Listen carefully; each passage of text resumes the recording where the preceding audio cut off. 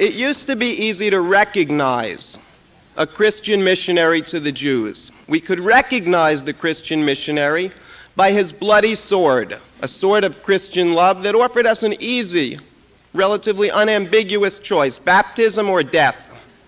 Times changed, swords fell out of fashion, but the missionary remained recognizable nonetheless. The missionary wore a cross. The missionary told us of his or her belief that Jesus Christ was God. The missionary invited us to his church. Today's missionary to the Jews, as many of you know, is not like that. Today's missionary to the Jews has traded their cross for a Jewish star. Today's missionary to the Jews typically has a name like Baruch or Shoshana, even if their name was Mary or Patrick at birth. A good example Lloyd Carson, a missionary with the Jews for Jesus organization. If you call him, hey Lloyd, he won't answer. His new name, Tuvia Zaretsky. Today's missionary to the Jews tells us how much they love Israel and the Jewish people while munching on a bagel or dancing the hora. I spoke not too long ago at the University of Pennsylvania. There in the audience was a gentleman named Fred Klett, a professional missionary to the Jews with an office on campus who has only one goal to convert Jewish college students to Christianity. And Fred asked me a lot of questions during the question and answer, and I decided I would turn the tables. I said, Fred, let me ask you a question or two. I said, I see you have in your hands a New Testament. Do you believe in that Bible? And he said, Sure, I do. It's the Word of God. And I said, Fred, tell me, based upon your understanding of that book, would you agree that the six million Jews in the Holocaust went straight from the fires of Auschwitz to the fires of hell? Fred is a bit too honest to be a missionary. And he answered honestly. I think as a result, he hasn't really converted anyone. And he said, That's what my Bible teaches, and that's what I believe.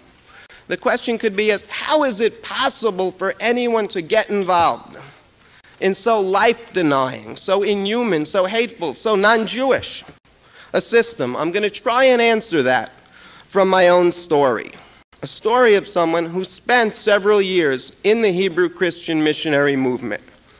Were it only my story, it would be of little significance, an evening's entertainment, a quaint oddity. The fact is, Hebrew Christianity, or as it calls itself, Messianic Judaism, or generically the Jews for Jesus movement, has attracted an estimated 100,000 Jews, 100,000 Jews in the various born again Christian movements that specifically target Jews for conversion. Hebrew Christianity has attracted some of the most vital, most spiritual, sometimes most intellectual among our people.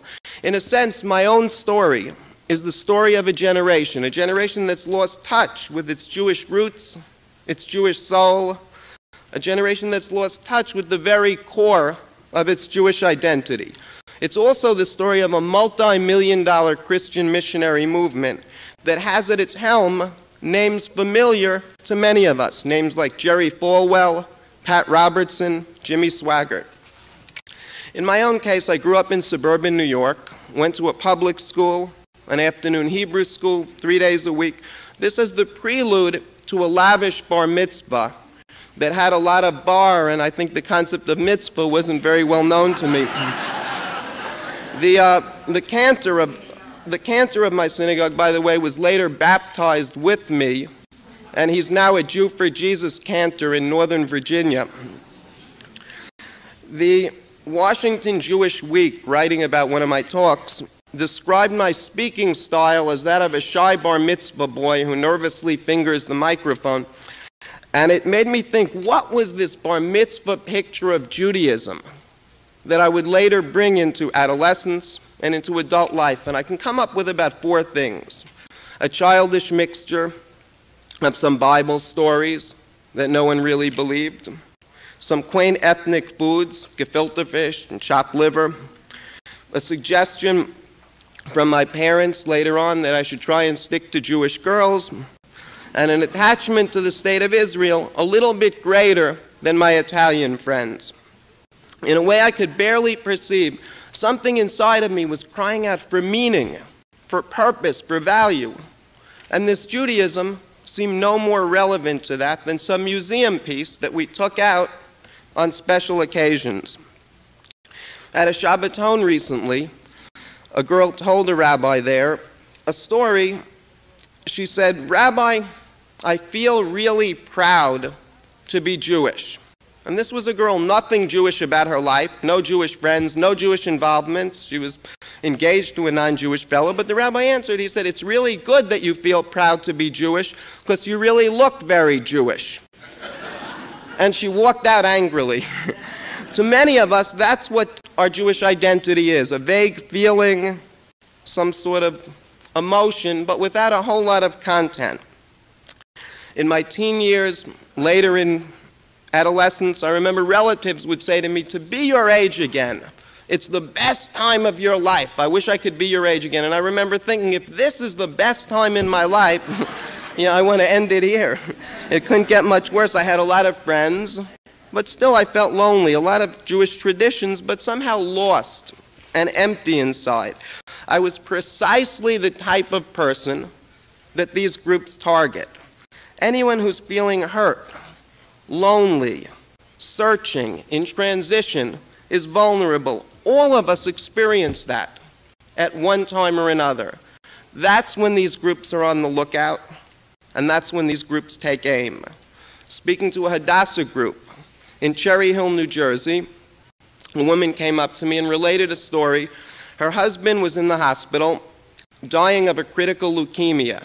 Just then, the local Hebrew Christian missionary group, they call themselves the Friends of Israel there, decided to take aim for her 14 year old son, visiting him, speaking to him at the hospital while he was there to visit his father. Always with two messages. One, if you ask Jesus into your heart, your father will live. The second message, don't tell your mother, she won't understand. Went to Brandeis University, Antioch Law School, and I was working for the District of Columbia office of a large, now defunct Los Angeles law firm, Kadison, Pfaelzer, Woodard, Quinn, and Rossi. In late 1980, some Christian clients began sharing with me the essence of their faith, using strategies and tactics specifically designed to bring Jews into fundamentalist Christianity. The, Morris Cerullo, a Hebrew Christian evangelist based here in California, said, I'd rather convert one Jew than 50,000 Gentiles. As a result, these groups spend an estimated $100,000 for each Jew that they convert. So they have the techniques down fairly well. The first technique what if I said, Jesus is the Jewish Messiah, and I can prove it to you from the New Testament. Not a very effective technique among Jewish people. And the missionaries, of course, know this. So instead, what they told me was that Jesus was the Jewish Messiah, and they could prove it to me from the Old Testament, from our Bible. The missionaries since then have gotten somewhat more sophisticated, and sometimes they'll say, Jesus is the Jewish Messiah. I can prove it to you from the Tanakh. Many missionaries have a problem for some reason with the ch sound. and you may hear, Jesus is the Jewish Messiah. I can prove it to you from the Tanach. Uh,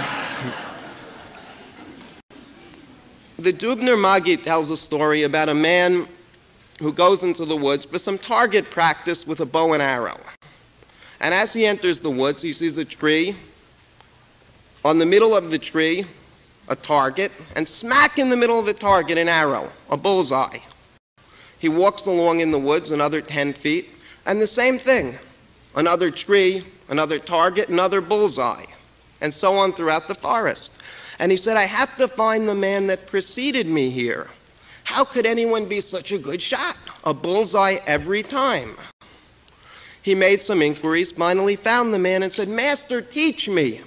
How did you get to be so good? The man said, Really, there's no secret.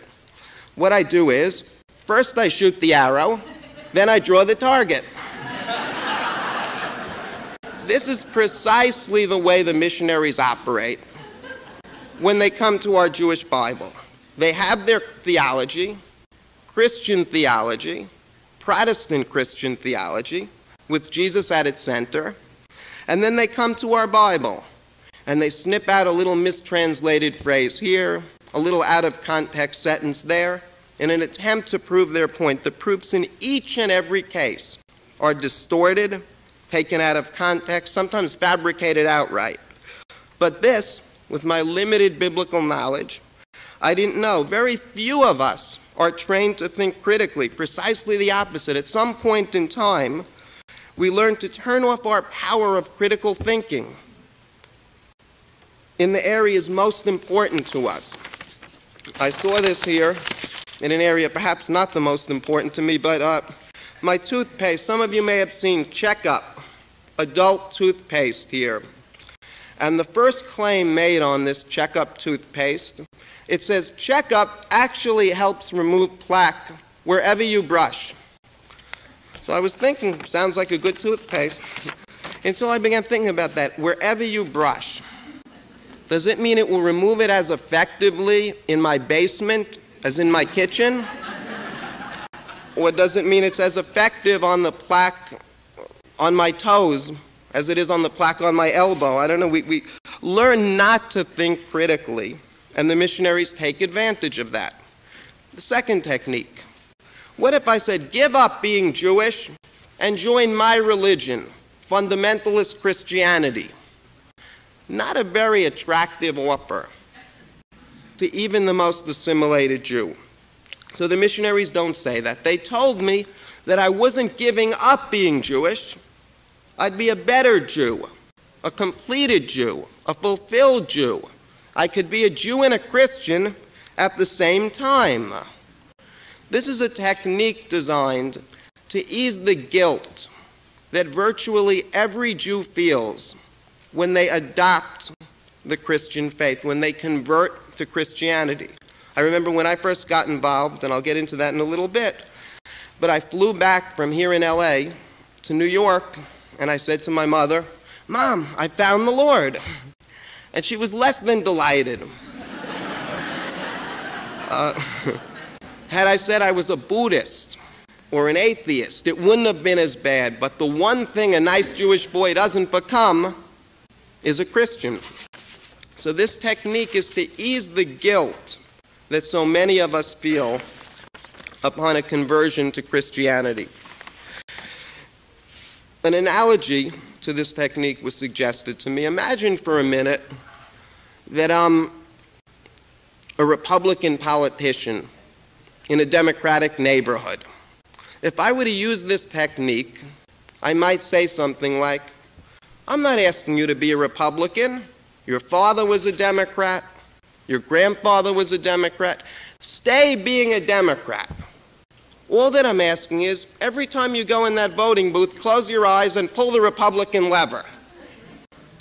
This is precisely what the missionaries are saying. They're asking us to give up every belief that has defined Jewish identity for 3,500 years, to accept the Christian position and reject the Jewish one every single time they disagree. And then they end up, generally with a phony Yiddish accent, saying something like, But it's okay, you're still Jewish. It's a beautiful tradition. The third technique, and really the most effective, what if I said, Join my religion and feel guilty all the time? Join my religion and be constantly afraid of the devil. And by the way, the devil is very, very real to these people. Have people seen the movie? I'm sure most of you have seen the movie The Exorcist. We used to have in our group exorcisms fairly frequently. We didn't call them exorcisms. Exorcism is a Catholic word. We called them deliverance. We were delivering the soul from the power of the devil. And I remember the first time I saw a deliverance, an exorcism. There was a 17 year old girl, obviously very troubled, sitting in the middle of our circle, perspiring, crying. And one of the leaders of our group said, Larry, would you lead the deliverance? So I'd never even seen an exorcism before, wasn't sure quite what to do, but I had seen the movie, fortunately, The Exorcist. And I remember I tried to look real spiritual, thank you, Jesus, thank you, Jesus. Meanwhile, in my mind was, what did the priest say in that movie? and I remembered the priest said, Demon, what is thy name? So I said it, speaking in King James English, of course. And I think this young girl had also seen the movie because she answered right out of the movie, My name is Legion. But again, what if I said, Join my religion, feel guilty, be afraid of the devil all the time? We're not going to let you think for yourself anymore. We'll do all your thinking for you. Not a very effective technique. So the missionaries don't say that. Instead, they told me, and they always use the same four words I could have a personal relationship with God. The idea is to find a weakness, a need, a vulnerability. It might be sexual problems. It might be compulsions, drugs, gambling. It might be loneliness. It might be a poor self image. And to hold out the hope that any of those problems will be resolved by going in, into their system. I was at a congregation in Baltimore visiting not too long ago called Rosh Pina Congregation, one of these Hebrew Christian groups. And the phony nature, the shell game nature of this promise became so apparent to me. There was a speaker, a fellow named Michael Brown, a leader of the so called Jews for Jesus movement. And when he saw me there, he directed his whole spiel to me. And he said, The anti missionaries say, Where are the miracles? And then he laughed and he said, Each one of us has experienced thousands of miracles. And everyone was saying, Amen, amen. he then asked if anyone needs to receive healing, could they please come up to the front? Every seat was vacated. Everyone ran up to the front and it became clear to me we had here a room full of people who had all been led to believe that everyone else in that room was experiencing miracles and who had internalized the feeling everyone else is getting it, maybe someday I'll get those miracles too. A room full of people that were lost, that were hurting, that were in pain, all of whom had been fooled into thinking that they were the only ones. It's a game that ultimately doesn't work. But to those unaware of the spiritual possibilities within our own faith, of the fact that we're the people that gave the world the notion of a personal relationship with a God who cares, this Christian offer, a personal relationship with God, does seem very, very attractive. I was out here in Los Angeles in January of 1981 for a several month stay to coordinate projects between our law firm's Los Angeles and DC offices. And fairly shortly after I got here, I had a born again experience. Are people aware of the concept of born again? We hear about born again Christianity. What does it mean? Those of you who, like myself, are into movies, you may have seen the movie Invasion of the Body Snatchers. This is the fundamentalist concept of being born again. And they base it on certain verses in the New Testament where they actually believe that they've died and that the Spirit of Jesus now resides in them, guiding their thoughts, their feelings, their emotions. I contacted here in Los Angeles the Jews for Jesus organization one of approximately 150, perhaps there are more, organizations that are specifically designed to convert Jews to fundamentalist Christianity. Jews for Jesus is probably the best known because they tend to be the most obnoxious. Within two weeks, they had me at the Los Angeles airport on a Friday night distributing pamphlets with catchy titles like Christmas is a Jewish holiday. To my dismay, one of the passengers at the airport that night was a partner, a Jewish partner at our law firm, who, like my mother, was less than pleased with my activities.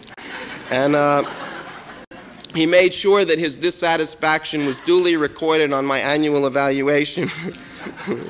Actually, my evaluation was good that year. The only two negatives were my Los Angeles airport activities and my then unfortunate tendency to dress in polyester leisure suits. At the end of my stay in Los Angeles, I was only here about three and a half or four months. Reverend Martin Rosen, the head of Jews for Jesus, he calls himself Moishe Rosen, he referred me to a Hebrew Christian congregation outside of Washington, D.C., in Rockville, Maryland. And it was on my return to the East Coast that I really began to get involved in the heart of the missionary movement to the Jews, the so called Messianic Jewish movement. I joined a congregation called Beth Messiah, one of a number of Christian churches, many of which are funded by Gentile denominations which call themselves Messianic Jewish synagogues. Has anyone here ever been to a Messianic Jewish synagogue? Just to show up hands.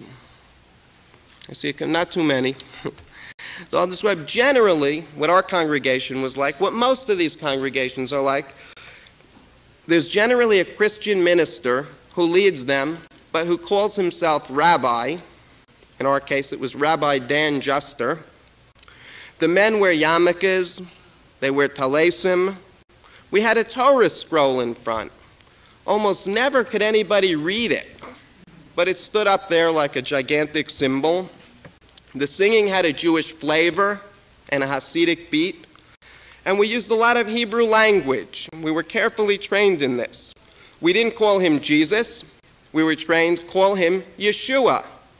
Jesus' mother, Mary, Mary doesn't sound Jewish to a lot of people, so we were told, don't say Mary, call her Miriam. As we led people to baptism, it was explained this isn't really baptism, this is the Jewish concept of mikvah, where we mikvahed people. where we then mikvahed people in the name of the Father and the Son and the Ruach HaKodesh.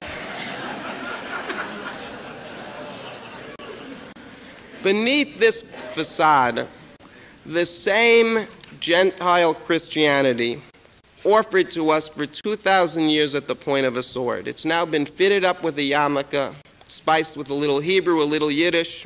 Jerry Falwell with payas is what we're dealing with. A couple of attractive aspects. One is the friendliness.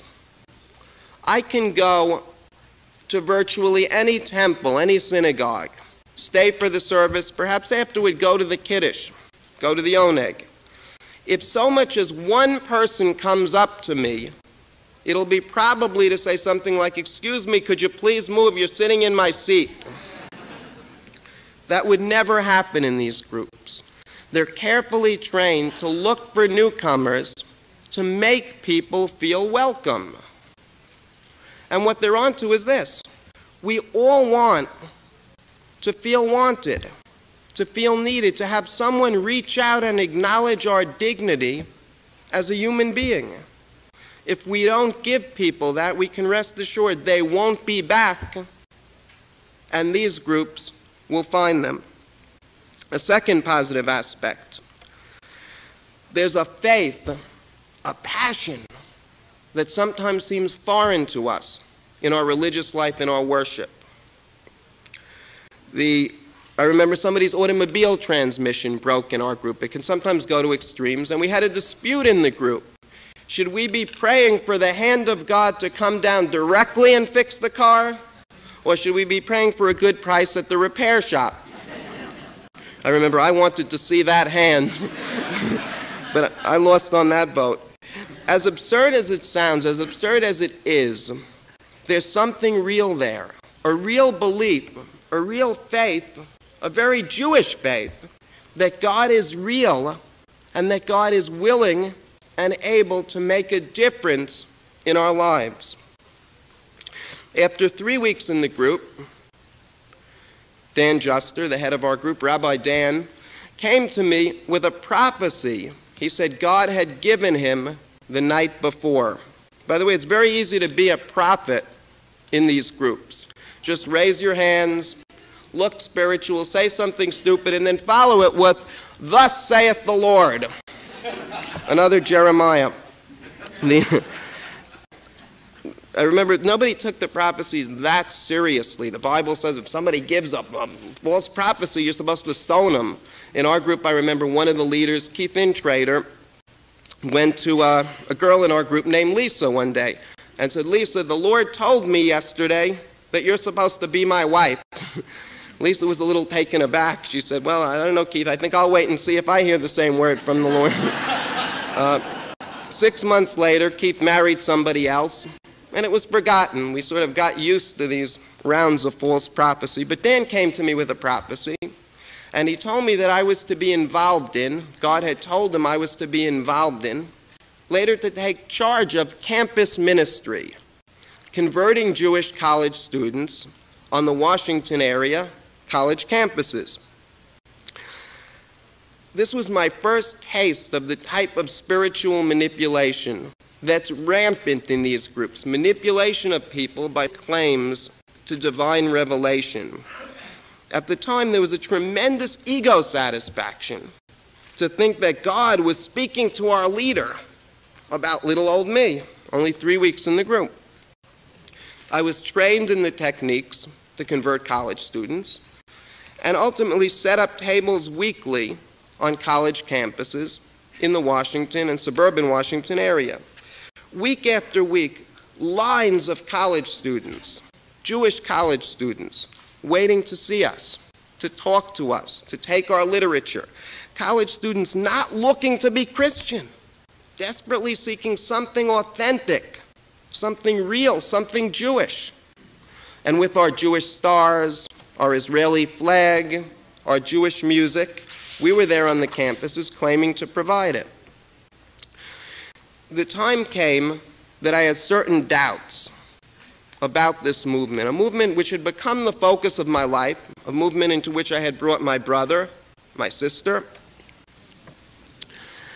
And these doubts are rampant within the movement, although there's no encouragement at all to share doubts or ambiguities. Instead, tremendous pressure to confirm the validity of our beliefs, to appear certain, not to give in to the devil's questions. Do you ever notice when you see a Jew for Jesus, a Hebrew Christian, a cult member, and they're always smiling? And you think, why are they smiling? Is it gas pains? Is it. Uh, what we have to remember is the missionary is a salesman. The missionary wants you to believe that they found something that's making them so happy, and if you buy it, you'll be happy too. If I wanted to sell you this, this book, and I said, Does anyone want to buy this book? You'd probably not be very interested. You know, keep it away from me, and whatever it is, it's not making you very happy. The missionary knows that, and they want you to believe that they found something that makes them very happy. Behind those smiles, a tremendous amount of doubt, a tremendous amount of pain in virtually every Hebrew Christian that I've ever met. In my own case, I began to question the absolutism of the system. We looked at the world always as heaven and hell, us and them, in black and white terms.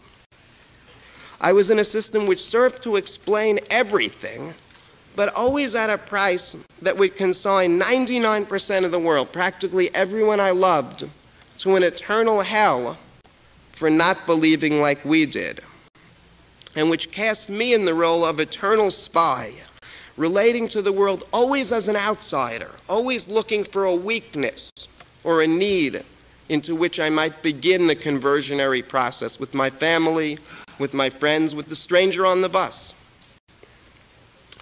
I also noticed a tremendous degree of superficiality in the relationships within the group. As long as we pretended to go along, pretended that everything was okay, that miracles and divine messages and prophecy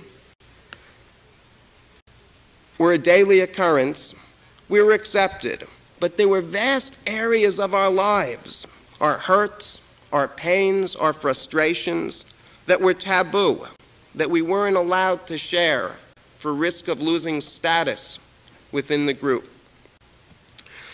I also noticed we were constantly plagued with a sense of guilt, a sense we were never quite good enough.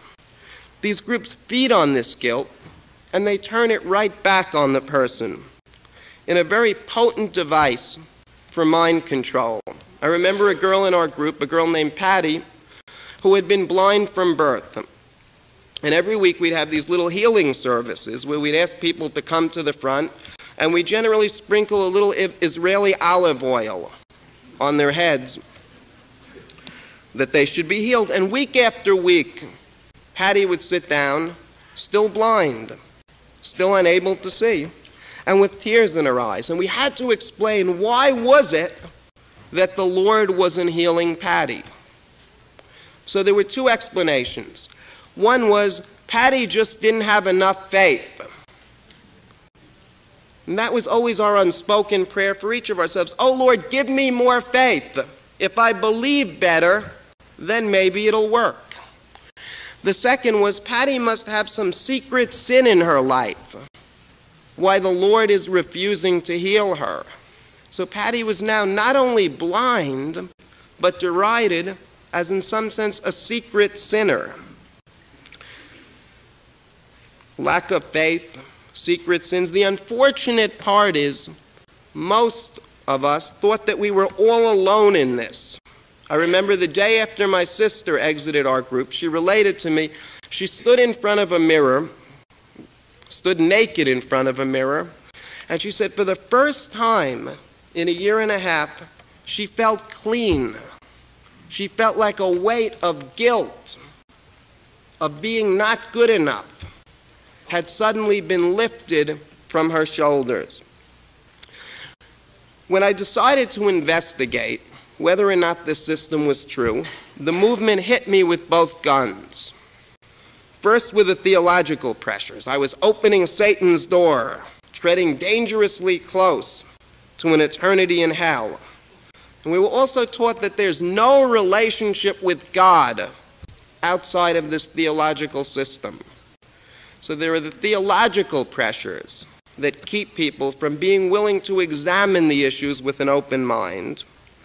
And second, more personal pressures, the constant round of calls and visits and warnings designed to dissuade someone from even looking into the system. I remember I shared some of my doubts with a friend who had been a Hebrew Christian for many, many years. And he told me that several years back, he had had many of the same doubts. And he said what he did, he, he prayed to God, God, would you remove my doubts? And he said the next morning he woke up. None of the questions bothered him anymore. Still, I began to look closely at the system, all the while smiling every day on the college campuses. And what I found literally shook my world. I found that the proofs of Christianity from our Jewish Bible were in each and every case based upon ignorance, mistranslations, distortions of context, fabrications. I also found that I couldn't be a Christian and a Jew at the same time. At least not if I believed in our Bible. To give one example, our Bible, somewhat immodestly, speaks about itself. And it says, The law of the Lord is a delight. Those who keep it will be happy, will be blessed by God. I turn to the New Testament. It also speaks about our Torah. It calls it a ministry of death in letters engraved on stones a yoke of slavery, a source of enmity and bitterness between Jews and Gentiles. I want to also stress here not all Christians, obviously, view our Torah in this way. There are many beautiful Christians who stand with the Jewish people, who share our hopes, our struggles, our aspirations. Those Christians generally do not interpret the New Testament literally. All of the missionary groups I'm talking about do interpret the New Testament literally. I also found a tremendous amount of anti Semitism in that New Testament, again, when it's interpreted literally. I had noticed some anti Semitism in our group. A girl I was going out with said to me when she saw an Orthodox Jew, she could always see the devil peeking out from between his or her eyes. Some of you may remember the Reverend Bailey Smith. He said, God doesn't hear the prayers of a Jew, he was the head of the Southern Baptists at the time. He later apologized and then he said it again. I remember at the time we couldn't understand what was all the uproar. It was very clear to us that God couldn't hear the prayers of a Jew who hadn't become a Christian. But these sort of anti Semitic manifestations I thought were sort of peripheral to the movement until I really began to look into what does the New Testament re- read literally say about us. From Jesus, who says to the Jews in the book of John, the fourth book of the New Testament, he says, You are of your father the devil. If God was your father, you'd believe in me. Jewish non belief as proof of our demonic nature. To Paul, the real founder of Christianity, the Apostle Paul, we used to call him Rabbi Saul or Rab Shaul in our group, who says to the Jews in the New Testament, Because you've shown yourselves unworthy of eternal life, I'm turning to the Gentiles. And then turns to the Gentiles and talks about the Jews, telling them that the Jews are under a curse, killers of the Lord, not loved by God, but hostile to all men. Still, even with all this, I stayed in for a while. And I want to stress this the missionaries are operating on some real needs, personal needs, emotional needs, spiritual needs, in some sense, physical needs. Unless we're willing to address those needs, people are going to stay in these groups no matter how many Bible proofs we can give them. In my own case, it was only when I discovered anew what it means to be a Jew that it didn't have to be the child's eye view that I once had, or the demonic New Testament picture that I was able to make the journey out. Only when I discovered by experience that Judaism could be a place for meaning in times of doubt, for hope in times of despair, for strength in times of weakness. Only then, by witnessing the passion, the devotion, and the love that committed Jews brought to the study of God's holy word, to the study of the Torah. I had seen passionate teachers before, but rarely passionate students. By experiencing the sense that my actions were approved by God, that there could be divine power in my steps as a Jew, in my words, in my fervent prayer as a Jew.